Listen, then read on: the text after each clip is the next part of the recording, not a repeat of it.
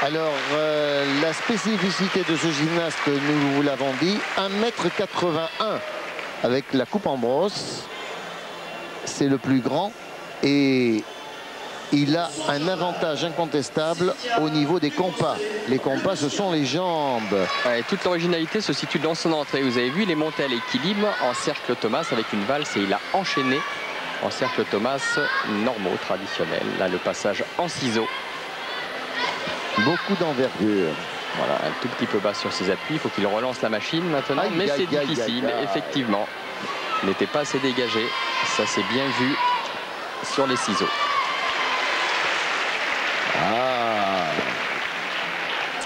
Pas facile de continuer un mouvement lorsqu'on l'a tout à coup euh, interrompu en raison d'une petite faute, hein, parce que c'était pas très perceptible au départ. Son entrée était réussie.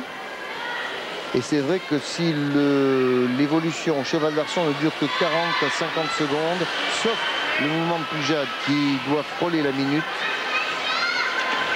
il faut tenir, il faut tenir. Passage facial et sortie réussie.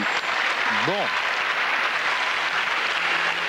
Déçu Frédéric euh, de sa prestation normale. oui, et il a perdu toute chance pratiquement d'être sur le podium. Si j'ai bien compté, entre euh, tout ce qu'on a vu cet après-midi, il n'y en a plus que un qui peut être champion de France, c'est Patrice Casimir.